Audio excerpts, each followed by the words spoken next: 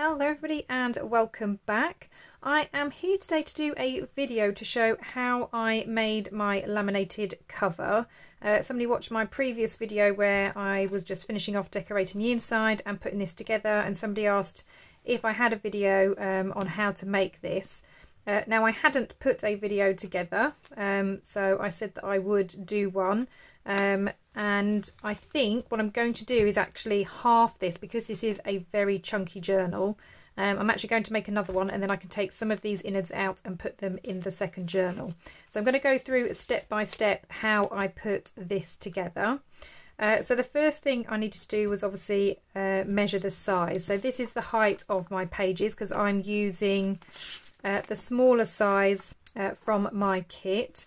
So if you imagine an A4 sheet, which is what we use here in the UK, or letter size if you're um, in the US, uh, but this is half of that size. Uh, and then I fold it in half again, and then this is the size of the journal that I have. So obviously this is far too tall. Um, so you can do many things. You can either just go from the bottom and then trim it down, or you can kind of gauge where you want the pattern and what it is that you want to see um, on your cover. So I think I'm going to try and trim roughly in the middle so that I get some of the lace. Uh, and on the other side of this, um, I've actually printed two sheets. Uh, this is going to be my inside. I could possibly use this as my cover, but I think I'm going to use that as my inside again. Um, you can print um, back to back because it is going to be laminated. But just for an extra bit of sturdiness I'm going to have two sheets of paper um, and then all I'm going to do is just lay them back to back like that just to kind of make it easier. So as I say the first thing I need to do is just get the size right. So I'm just going to bring in my piece of paper again. I obviously want it a little bit taller. Uh, so let's grab a pencil. I'm going to use this as a bit of a guide as well. Um, because obviously this is taller than this because I need to be able to fit the elastics in. So as you can see, my, um, sorry, I have to do it this way so you can actually see, uh, my eyelets are either side of the height of this page. So my cover does actually need to be taller than these pages. So I'm going to use this as a bit of um, a gauge and I'm just going to bring it down ever so slightly. So I think I'm going to trim it here. I don't know if you can see that. I'm going to trim it about here and maybe about where that kind of lace is there. So I'm just going to make a mark there on my paper and then I've got a mark down here. So um, I'm not going to take anything off the edges. I'm just going to trim the length because on this one I wrap around the back to make a pocket and I want to do the same thing again. So I'm not going to take anything off the length. Uh, while I'm trimming this one, I'm also going to trim this one just because it's easier. So I'm going to bring in my trimmer. I'm just going to go along those marks. Just making sure that both sheets are lined up.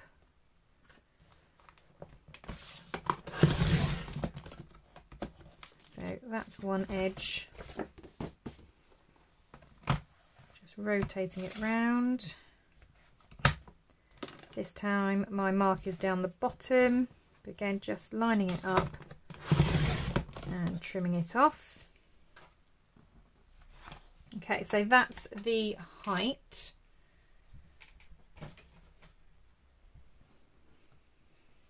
Now I do want to keep these bits because for this uh, closure I just use the offcuts from this. So this is actually the perfect width again. So you can either again put these back to back or you can just fold these over, which I think is what I did with that one. So I'm just going to see how long I made this because I can't quite remember. Uh, so about four inches. So I'm going to do the same on this one. So it's four inches. So I'm just going to move it in five because I want to kind of fold it over to again give it that stability. So I'm going to fold it about there.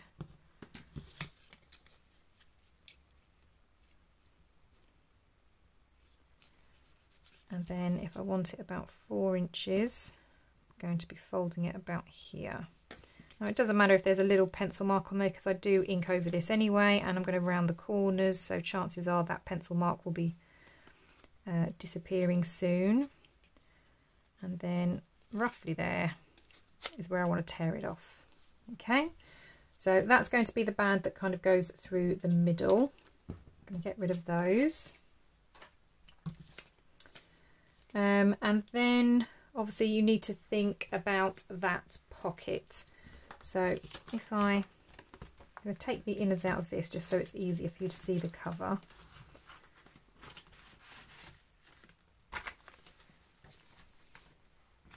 And take those out.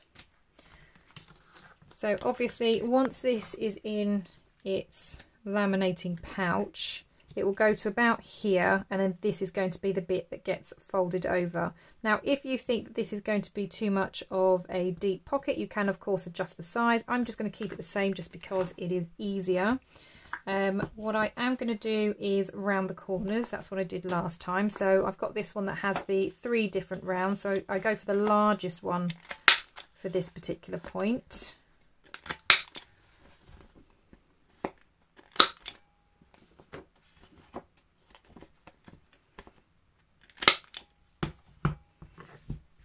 Now it's not necessary, it's optional. Um, you don't have to glue these together, you can just literally pop one inside of the other and then once it's in the laminating folder it will kind of hold in place.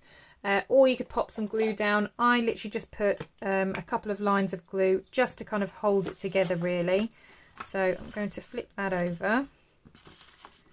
Got so much going on on my desk at the minute and I'm literally just going to put three lines of glue, two up the edges and one through the middle and then I'm just going to pop that on top and it just stops it from wriggling around because obviously I don't want that white edge like I'm doing at the moment. So you just want to try and line it up as best you can. Like that. Um, and then this one I do actually want to glue. Oops, might help if I unroll it a little bit.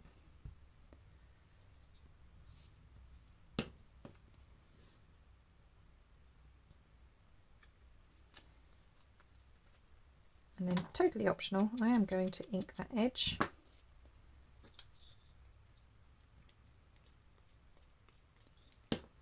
and then pop that down.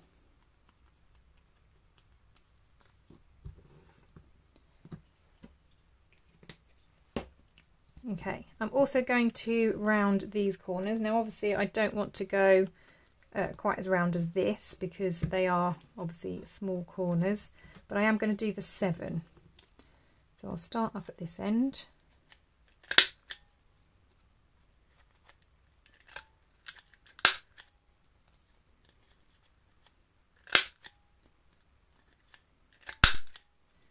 So that's my corners rounded.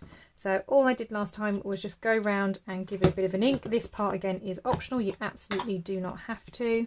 Uh, you don't even have to use digitals, you could use scrapbook paper if that's what you've got as well. Like I said, I just like the lamination side of it because it just makes it more durable, more sturdy. Uh, then I'm going to ink around this one as well. Actually, while I'm inking, I'm just going to switch on my uh, laminator, which is just to the side of me, off camera. So I'm sorry if you can start to hear a little buzz as it's firing itself up.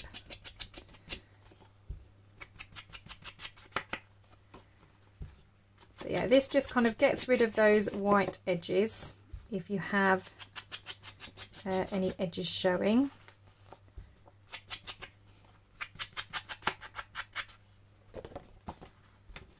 And I've just gone for a slightly grungier look this time so that's why I'm also going for the darker one as well. So this is uh, ground espresso. And I really love this colour. It's a lovely dark chocolatey brown colour. Or I guess coffee if it's ground espresso. But I don't drink coffee. I drink hot chocolate so that's what it reminds me of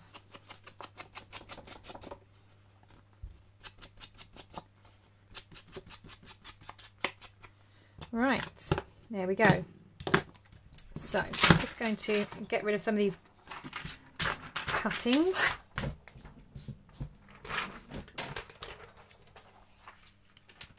Okay, then all we need to do is just pop this into the laminating folder. So just to make it easier, um, I tend to go reasonably close to the bottom edge and obviously tucking it in as close as it goes up here. Then as you can see there's a huge gap at the top here, that's where this one is going to go. Um, so you just pop that in at the top.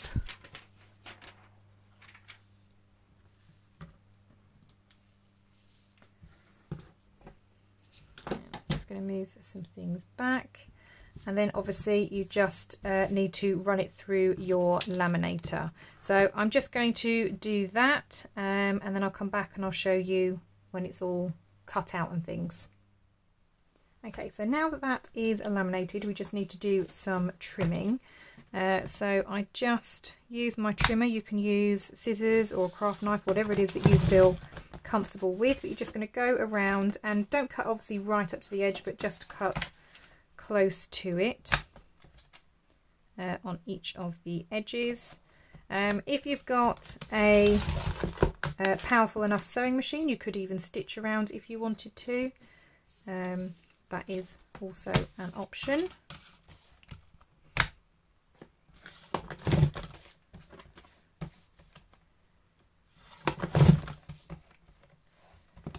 Okay, so for the edges, I am just going to use scissors.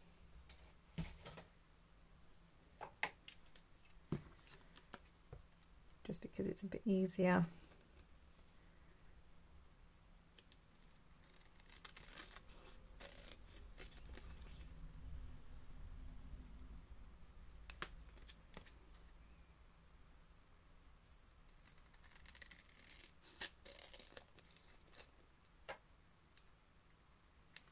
Okay, so there's that one. Um, and then for this one, obviously I want to round these corners as well. So a little trick, um, quite a lot of times punches do not like either thin papers and they don't like um, laminating pouches. I think because they're just too soft and flexible. It normally likes um, card best. So from my scrap card, and you can see the corners already rounded on there, um, what I do is I just line it up with the corners. Uh, and I did the big one for this, didn't I? And then you just use that to help with the punch and then it will punch through your lamination as well. Uh, that's the same if you've got a thin piece of paper, something that's quite delicate. Um, vellum sometimes is a bit fussy with punches, so this is a good trick to kind of cut those off. So I just use, like I said, scrap card and then just use that to help.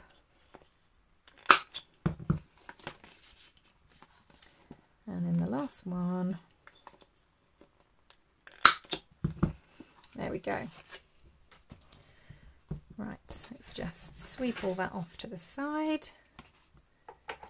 Okay, next um, you're going to need a scoring board. So I've got my large one here. Um, okay, so I just need to decide which way up this is going. I think I'm going to have this at my top. Now I'm going to bring this one in as a guide. Now normally when you score you obviously create a valley, a dent, and then you fold away from the valley, so you fold it backwards. And that's not as easy to do on um, things that have been laminated. So normally where you've kind of made that indent, that is then where your fold will be. So I'm just going to use this one as a guide. So this one goes to four and a half so that's where I'm going to have my first fold. So at four and a half, I'm just going to press down and I'm going to do that three times there. Um, and then I am going to make a crease in that already.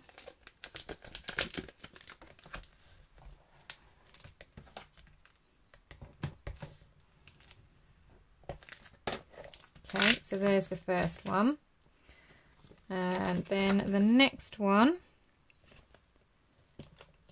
is at the line before the five. So that's where my next one's going to be. So again, I'm going to do the same thing, just three times. And then making that fold, like so. And then the last one,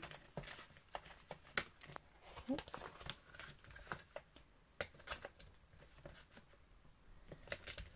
So the last fold then is the one after nine and a quarter. So it's the line in between one and a, uh, nine and a quarter and nine and a half. So that's going to be my next one. So again, just going to three times do that and give it a fold. Okay, let's put this away. Okay, so the next few things you're going to need is um, a Crop-A-Dile, you're going to need some eyelets, some elastic and some really strong double-sided tape. So I'm using um, this red one which I know holds really really well. So the double-sided tape is for this pocket to seal it. Um, I've not known a glue that is good enough to hold um, the laminate together. Uh, if you have a really strong glue that does that, by all means use that uh, but I haven't found one that works really, really well. So all I'm going to do is pop my red tape, and I'm not going right up uh, to the crease.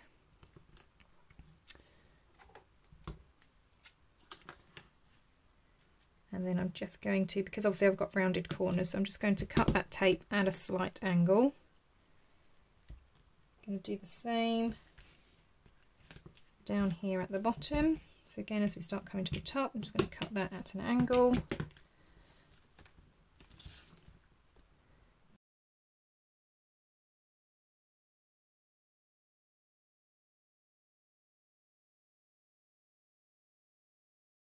Okay, so that just gets folded over. Give it a nice press. That's your back pocket. Okay, so double-sided tape done. Uh, then we're going to punch our holes. So I kind of set this to like a quarter of an inch and then you just kind of aim roughly for the middle of that spine and do the same at the bottom.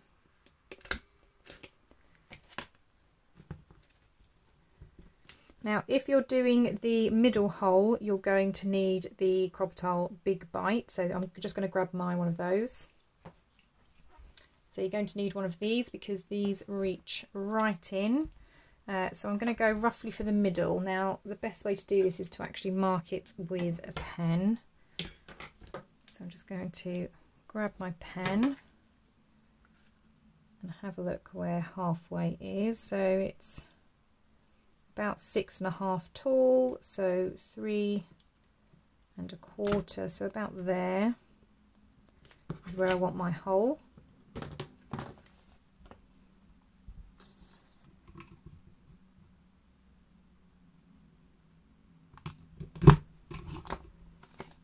Okay, and then once you've done that, might as well use this one. You're going to then set your eyelets.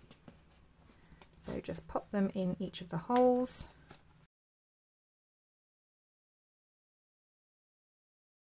Okay, and then you can set them.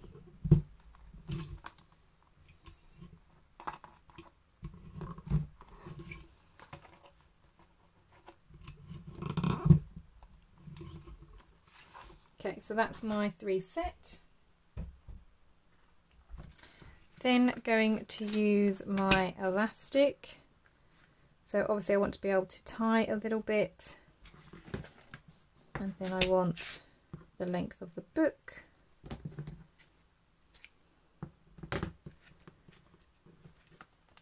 So that simply just gets slotted through there.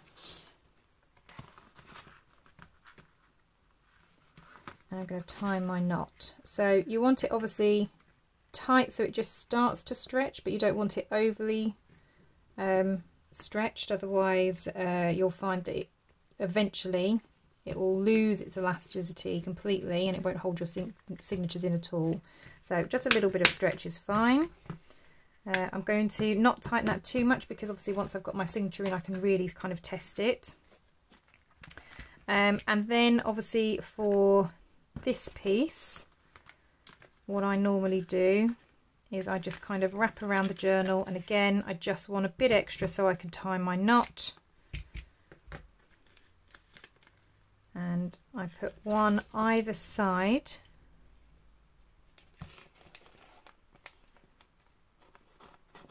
of that. Uh, obviously I don't want it either side of this one because I don't want to tie it to that. Uh, but I then just give it a little tester. Now this bit is a little bit fiddly because you want to be able to kind of wrap this around but also you don't want to let go of this either. So I just kind of have one finger holding that, pull this around just to make sure that that's kind of tight enough. That's kind of where I want it. And then I know that my knot needs to be about here. So again, I'm just going to use my pencil. I'm just going to mark on the elastic just so I can pull it out a little bit. And tie my knot. And I'm just kind of looking for where my pencil marks are. Give it a little pull again. I'm not going to make it too tight because I just want to check that that fits around there and closes it nicely, which it does. Oh, I'll tell you what I forgot to do. I haven't put this on. That was clever. So first of all, let's punch some holes in it. That's another reason why you don't want to pull these too tight. So I am going to do the same on this one. So I'm just going to punch my holes in. Going to undo this knot.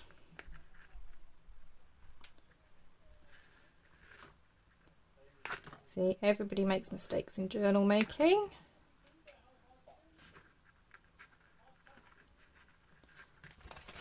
I'm going to take that off um, and then it's going to go in and out like so and then we start again one on each side. So one in there. Actually, sorry, I'm being picky, but I want it that way up. And then that one's going to go on that side.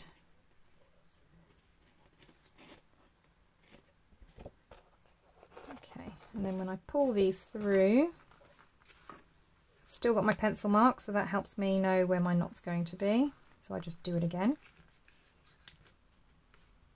Another good reason to have your pencil marks. Okay, again, I'm not tightening it too much because I just want to double check that fits around there and that holds it closed like that. So that's how my journal looks. So I can open it up. I'm now going to give this a good tighten. I can snip off the extra bits. And before I snip off this I want to get my signature in. So um, I printed off just another one of these pages and I've literally split it in half. So I just grabbed um, I think I had 10 pages in total. So I've got now five in each. Uh, so I'm going to find the middle which is somewhere there it is. So there's one middle.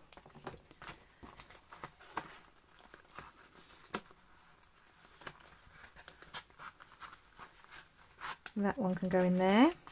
That's a bit better isn't it?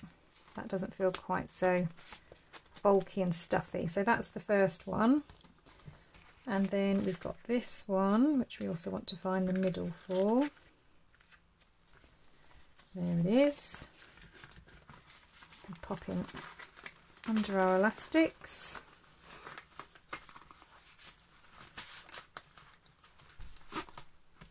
like so again that all fits really nicely so I can come back to the middle and snip those off. Oh, just going to make that a little bit tighter. Give it a pull. Snap those off. Uh, another thing that I was thinking is my mini journals, I was kind of struggling of where to put them, but I'm thinking I might put them in here in the middle.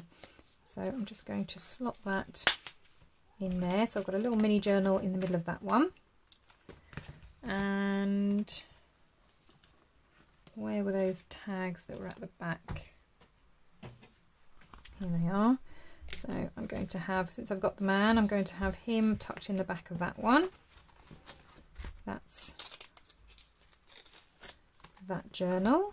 And then this one, again, I want the mini in the middle. Oh, I got this upside down? Yep. That way round. With the tag at the back. Like so and then that coming over. So those are my two journals. Well, I hope that you have found this video useful. Thank you so much to the person that requested me to do this. Um, it was great. One, because I get to show you my process, but two, um, I was able to actually divide up my journal because I did feel it was a bit chunky just in one. Um, so now I've got two journals. Um, and I really love them because they're one nice and shiny, they're nice and smooth, and I know that I can carry them around um, and they're not going to get all kind of scratched up. If you ever have any other suggestions or requests on videos that you would like to see, if there's something you've seen in a previous video but I didn't perhaps show you step by step and you would like to see that, of course just drop me a comment down below. Um, on the few occasions when people have done that, I have produced a video um, relatively quickly after the request. I know lots of people do like to see the full process, so I'm absolutely happy to do those videos if you want them. Once again, thank you so much for watching. I hope you have a wonderful day and I will see you all in the next crafty video. Bye for now.